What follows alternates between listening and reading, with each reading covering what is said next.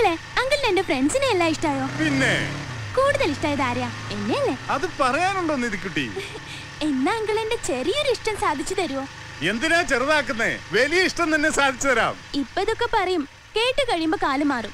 എന്റെ മോളെ മോളുടെ ഈ ഒരു ചെറിയ ആഗ്രഹം സാധിച്ചു തരാൻ കഴിഞ്ഞില്ലെങ്കിൽ പിന്നെ എന്തിനാ അങ്കിൾ അനിമലങ്ങളാന്ന് പറഞ്ഞ് നടക്കണേ? എങ്കിൽ അങ്കിളിന് ഒരാളെ കൊല്ലാൻ പറ്റുമോ കൊല്ലാൻ? അതെ.